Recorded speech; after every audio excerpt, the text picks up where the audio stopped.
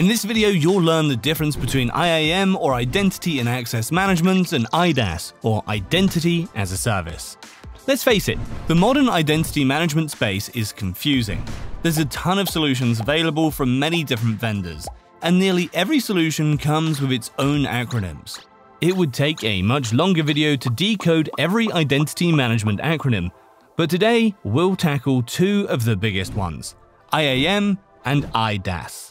Let's start with IAM. Identity and Access Management, more commonly called IAM, is the big umbrella term for solutions that handle user accounts and control who gets access to what. Under the IAM umbrella, you've got the core identity provider, aka Directory Services. It keeps track of all the user identities and their access to IT resources. Then there's other subcategories like directory extensions, web application single sign-on, privileged identity management, and privileged access management that handles higher security accounts. Over time, IAM has become a lot more complex. In the old days, everything was on-premises and mostly revolved around Microsoft's Windows via Active Directory. Since then, the rise of web applications changed the IT landscape and made identity management using old-school on-prem solutions harder. To tackle this challenge, a bunch of cloud-based solutions were developed to either improve or replace the old ways or handle identities. And that's how modern-day IAM was born.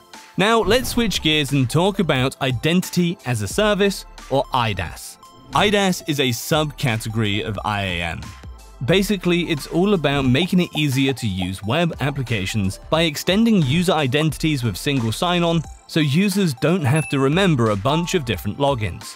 In the past, IDaaS solutions were added on top of traditional identity providers like Active Directory to make them work with web apps. This lets IT organizations keep using their old systems while also accessing cloud-based apps. But here's the thing, that solution isn't perfect for today's world. With remote work, people using their own devices and different operating systems, management gets a bit messy. That's why most modern IDaaS solutions work in the cloud. They give IT teams a central place where they can easily authenticate users and manage access to all kinds of resources. These new IDaaS options are great because they can connect users to their apps no matter where they're working from, or what device they're using. Plus, they help improve security by giving users one secure identity to access all their stuff. It's like having a single key that opens all the doors. That was a lot of information, but if you're still getting these two terms confused, here's what you need to remember. IAM is the broad category of managing user identities. When you want to take your user management to the cloud and use it with single sign-on, that's called IDaaS. The world of IAM keeps changing, especially as more and more of our IT stuff moves to the cloud.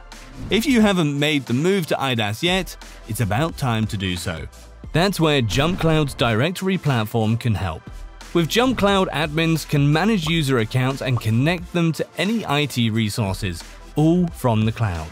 No need for complicated on-premises applications or extra add-ons, it's all in one place. Check out the link in the description to learn more about JumpCloud and be sure to subscribe to this channel for more educational videos.